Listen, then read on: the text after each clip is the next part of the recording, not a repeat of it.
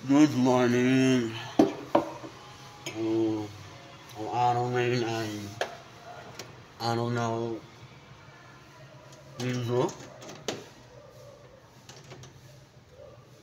So, wala akong, ah, wala akong pasok. Muna, Biyok ko na yun. Dahil napasok ko lang dito, itong araw lang, Biyernes, Sabado Linggo.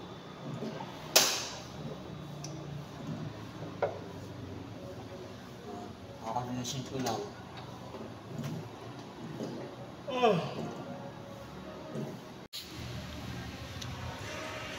Ah, wala pala ako. Nandito ako sa coffee shop. Nandito kasi mainit. Na- Nakahiwalay doon sa restaurant. Ngayon, saan yung bukas? Ayun na. Ang grabe, nilalamig talaga ako. Kahapon naman, di naman dito kalamig. Ngayon, medyo malamig na, malamig na naman.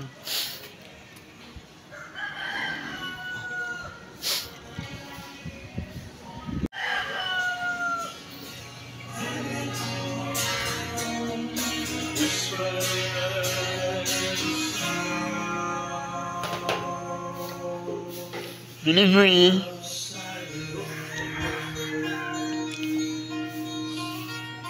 Ulam. Oo.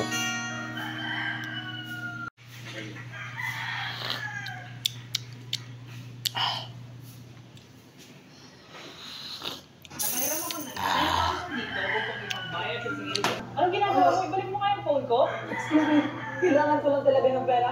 Maaari mo bang sabihin sa akin kung paano ginamin ang perang ito? Dito? Nakautang ako. Ngunit wala akong maisasagla. Okay lang ba? Walang problema. Gamit ID card at phone.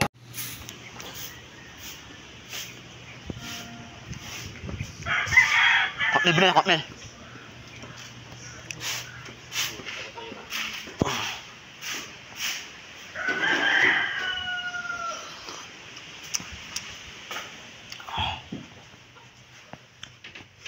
Oh, uwi ka na? Nanaon na. Ha? Nanaon na. Bakit? Naman pa ako umuwi. Ha? Naman pa ako umuwi. Yung ba, sa sahod ako. Ha? Sa sahod. Ay, susunod na ba? Walang pera. Ba't pala kagabi? Hindi ka mo kagabi? Wala, nakalimutan na natin nun. Tapos ka. Wala kang mabibigay ngayon. Hmm. Oo nga. Wala mo mo pera dito. Ba't kinuha mo? Sinama mo kay Kim kagabi, di ba? Oh, Oh. sabi na alas 10. Kalimutan na kayo. Nakahak ba siya? Wala siyang iniwan dito kahapon. Ano, wala pa sa tingin. Wala niya ata. Alas Sa'yo ba 12 sa'yo? pasok. Sa'yo? Hindi. Hindi. Wala lang, sa tip. Magkano yan? Magkano yan? Mamaya mag-scatter. Ayan, naman yung ano. Ace! Ano mo na? Bye!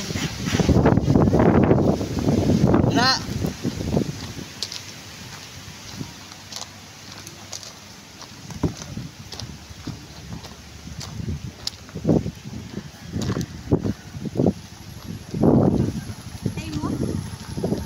Mo? Ano oras na? Sabihin mo kay ano, Sir Ogie, kung pwedeng kunin mo na lang tayo. Sa Gcash. Gcash. Gcash daw sa'yo? Oh, send ko na lang sa'yo yung number. Ha? Send ko na lang sa'yo. Mo ng pera. ah. Kaya mo na lang? Oo. Kalimutan yung sahod. Wow, bakit? Sabi ko na lang ako, nag-gcash na lang ako. Para meron akong budget.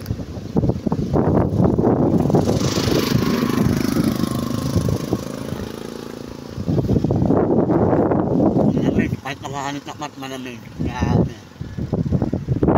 Oo. Yan ako na lang. Teleport. Masagal na ako. Then count of 1, 2, 3. 1, 2, 3.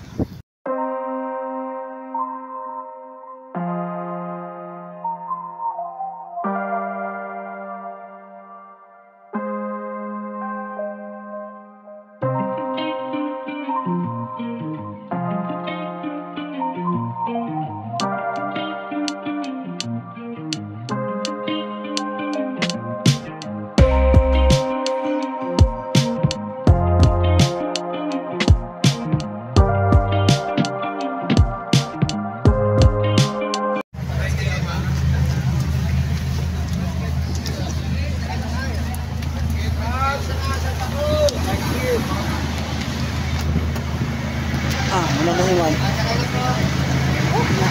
Eh, Okay. Nagbahala tayo.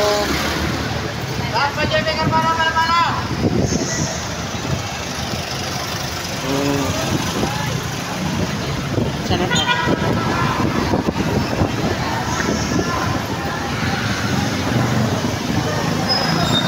Ang calculation mo eh. Kaya ako ang pera.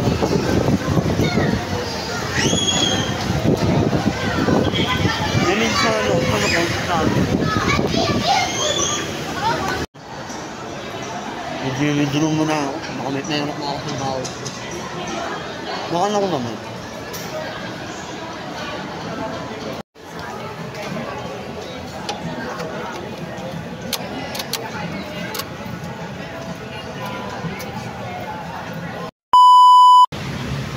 Gusto ko na ako bumili.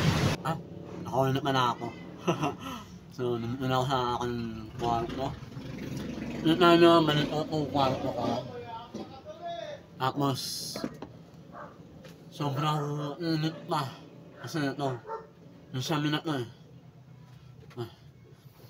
Uh! Puta na kami patok. Char, nakama yan. So, hirap gumawa ng content araw-araw, no? So, din na lang aking videos. Maraming salamat sa inyo panonood. See you in next vlog. Bye!